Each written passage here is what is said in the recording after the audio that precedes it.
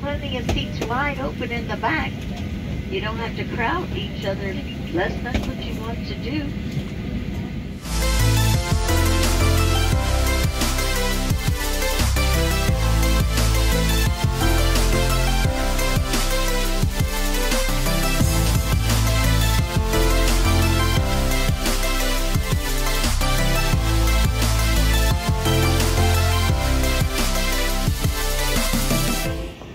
Good evening, and welcome to the Southwest Airlines trip report and flight experience on Flight 2229. For this report, I'm flying from Las Vegas to Long Beach. If you happen to take public transportation to the airport, expect a long walk to the check-in area at Terminal 1. Follow the signs, then take the escalator or elevator down to the ticketing area. Southwest here is down at the very end. From here, you then go to these kiosks they also have check-in desks to the left of the kiosk. And then from here, you can get your paper boarding pass, check your luggage and tag them, or check to see if you want to change flights. This is the last flight of the day, so it doesn't really matter. Once you've got all of your docs and bags checked, you drop it off at the bag drop, head to TSA, and then head to your gate. There's our flight, 2229 to Long Beach, departing at 6.55 p.m. at C12. And so far, it's on time. I have TSA pre-check, so that makes things a little quicker. Being a Wednesday night, it's not too busy, and I completed TSA screening in about 5 minutes.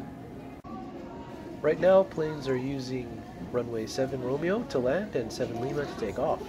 But by the time we depart, we'll be using 25 Romeo, 25 R, and head towards the west. Tonight we're departing from gate C12. From TSA, you'll turn left, then turn left again to take the train, or turn right to walk. C12 is at the very end of the terminal, so you should expect to walk a bit. I did it walking briskly in about 5 minutes. You should budget at least 10 minutes if your flight is departing from the end of the C gates. Here we are after a 5 minute brisk walk. Tonight I'll be flying on this 11 year old Boeing 737-800 it's registered November 8606 Charlie. It was delivered to Southwest Airlines on January 1st, 2013. The exit rows. Per the FAA, you're allowed one carry-on item, one personal item. Carry-on item is to be stowed in the overhead bin. Personal item goes underneath the seat in front of you. If you do come to the podium with more than two items, I'll ask you to step aside and we can consolidate down to two or we can check that third item to your final destination. To your final destination. Please be sure to remove any lithium batteries, e-cigarettes, laptops, and personal belongings such as medications. Per federal regulation, alcohol is not permitted past these doors. If you are using a mobile device today as your boarding pass, please make sure to have that brightness raised all the way up so we can get you scanned in properly. This is flight 2229 with service to Long Beach. We're going to start with our pre-board passengers, pre-board passengers first. I always hate leaving Vegas. Even though I live in Long Beach now, Vegas seems more like my home. I feel like I have a better support base for my new business venture, and Vegas seems to fit more my personality than Long Beach. We'll see if I end up moving here or I become a digital nomad. For tonight's flight, I'll be in the B boarding group, B13. We board after the A group and after any A-list status passengers who didn't get an A boarding group active military, and families traveling with children. For our flights, there are 50 open seats, so the plane should be about a third full when I board.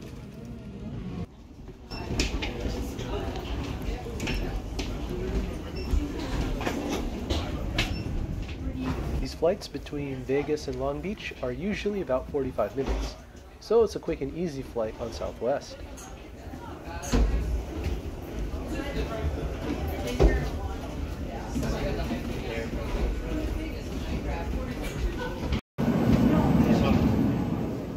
Welcome on board Southwest Airlines 2229 with service to Long Beach. You can see how narrow the aisle is, and of course the front is already mostly full. Tonight, I'll be seated in 21F, a window seat. This seat has between 32 and 33 inches of pitch. Seat width is 17 inches. You can see. There is no IFE, however, you can use your mobile device to stream some live TV, some movies, and other entertainment. There is your meal tray, and it pulls out, but it looks like it's broken. Something came loose. So I'm not going to be using that, which is okay since it's just a snack service. I guess that's where something came loose. And my backpack fits underneath the seat. There's no power outlet or USB port, so make sure your device is fully charged. For a short flight, it's not a problem. These seats look a little bit different than what you normally see on the 737-800s or MAX.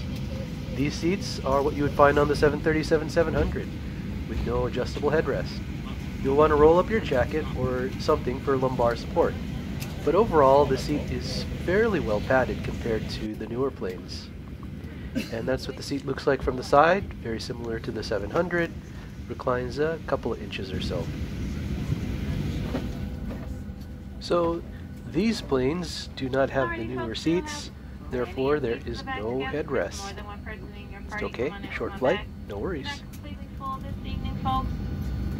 Open seating here at Southwest, sit wherever you like.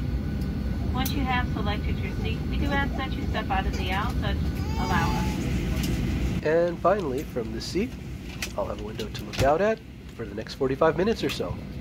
I intentionally sat on this side because from here you'll be able to see the strip from runway 25 when you take off. We'll have seats in the back together, guys. Come on in, come on back. Strong possibility we will be deplaning from the back as well as the front of the aircraft. Can't guarantee that. It's a good thing she didn't guarantee that because in the end we didn't get to deplane from the back at Long Beach. I guess I didn't notice how much service Delta has from here. Sure, it's not Atlanta, but there is a lot of service on Delta from Vegas. Federal law for staff request disabled it is showing a smoke detector. FAA regulations require customer compliance with the following. Lighted passenger information signs, poster placards, and crew's instructions regarding seatbelt and smoking. Change in cabin pressure, which should not occur. For oxygen mask, rooftop compartment overhead. Immediately put on the yellow mask, fully extend the plastic tube as it activates the flow of oxygen. Place the mask over your nose and mouth and breathe normally. The mask must with the elastic strap. For the child with children, please secure yourself first, then assist the child. Continue wearing the mask otherwise notified by uniform crew members. But these are do's and don'ts. Just sit back, relax, and enjoy the flight into Long Beach.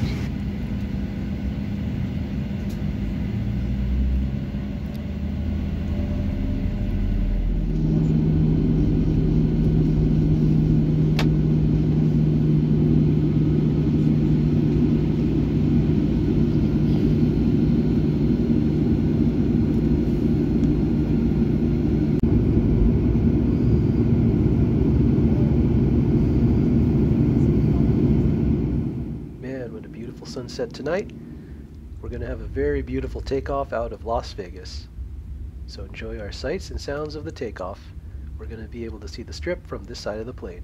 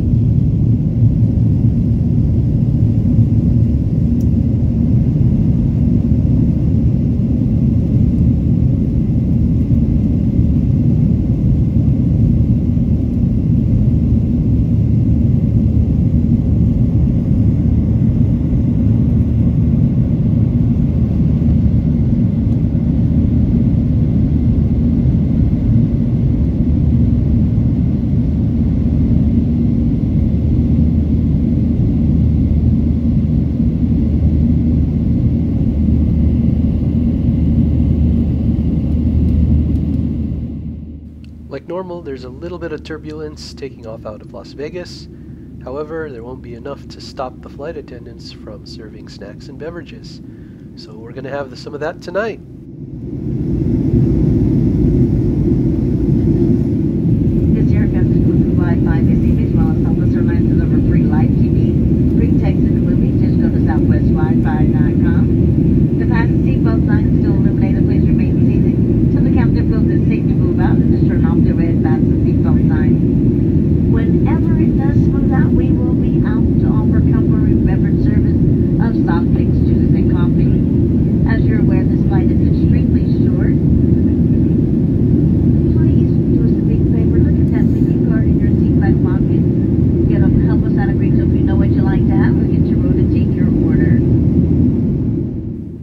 Just saw a sample of what's on southwestwifi.com. Internet is $8, which I think for a short flight is not really worth it. It is available to Business Select and A-List Preferred for free. You also saw a sample of the movies, TV shows, and live TV options. For a flight like this, I'll usually be watching ESPN. It's sometimes hit and miss whether we get snacks and beverages on these short flights. There wasn't a lot of turbulence, and with about 125 passengers, Flight attendants came by taking our drink orders and passed out the snacks. This evening we get the regular snack mix, and I chose to get a cup of water. This is probably one of the smoother flights I've taken. There isn't any turbulence, and there's a beautiful sunset off in the distance. I'm going to be watching some of the live streaming TV for a bit. Know that just as quickly as we get up to cruising altitude and get our snacks and beverages, we'll start descending and the flight attendants will come and collect any and all remaining trash. I've even seen them still passing out beverages as we're descending, and then right after they pass out the beverages, immediately announce they're getting the trash. I've even had an instance where I placed an order for a drink, some water, and I never got that. Let's wrap up tonight's flight on Southwest Airlines 2229 from Las Vegas to Long Beach. First, if you take public transportation to Harry Reid International Airport, it will drop you off downstairs next to the baggage claim at Terminal 1. You'll have a long walk to the check-in area, and if you're departing from Terminal 3, you'll need to take another shuttle. So give yourself plenty of time. There's nothing fancy flying southwest. This flight is like clockwork for me. There are plenty of kiosks and even check-in counters, so it's pretty easy if you need to check bags, change your flight, or print boarding passes if you still like using paper boarding passes. If you can, fly midweek, as it's a good time to fly in and out of Vegas, as it's not as busy or expensive as Friday or Sunday night. You'll certainly have a much more relaxed experience. Boarding was uneventful, and the announcements are pretty clear when and where to board. We departed a few minutes late out of Las Vegas but usually it's not a problem unless you have a tight connection in Long Beach. The seats were fine. I've never had a flight with broken equipment until this flight and the broken tray table. It wasn't a big deal since I was able to use the tray next to my seat. The flight attendants were professional and nothing bad to say about them. They served the beverages as quick as they could and they seemed to work well as a team. There really isn't much else to say, as if you followed me for a while, you know I'm not going to make dramatic statements or scenes or make up stuff. I paid for this flight with a combination of credits and cash. The opinions I have are entirely my own, and I get no compensation from Southwest Airlines. With all that to say, enjoy our landing in Long Beach. We're landing just about on time, 8 p.m.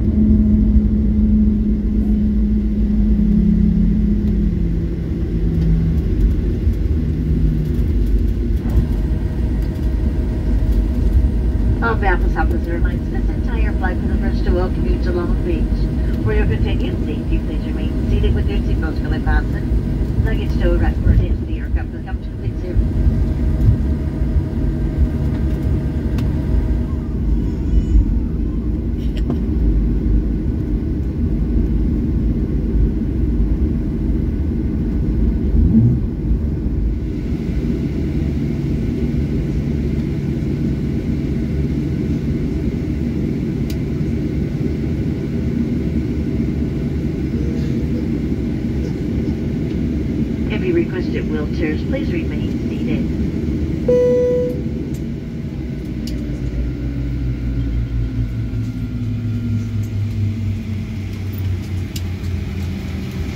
Is our Georgia Classic arrival. Thanks for joining me on Southwest Airlines 2229 from Las Vegas to Long Beach. Please remember to leave a like and a comment below and subscribe to see more. See you next time. Thanks.